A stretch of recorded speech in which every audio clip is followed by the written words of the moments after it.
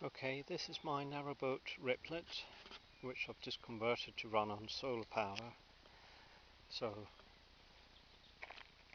it means I've covered the whole roof in solar panels. There's about 800 watts worth of solar panels, uh, 10 times 80 watts, uh, and an extra two on the wheelhouse roof there. And on the back there is a pair of electric trolling motors. They're rated at 86 pounds thrust each and between them they push the boat along at two and a half miles an hour which is about the speed that you pass other boats at anyway but a benefit of having so much solar power is when you're stationary there's ample power to power everything on the boat.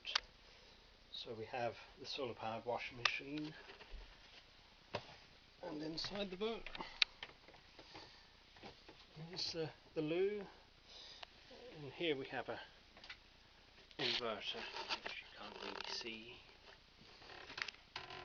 This is the control panel where it all happens and the battery monitor which is quite essential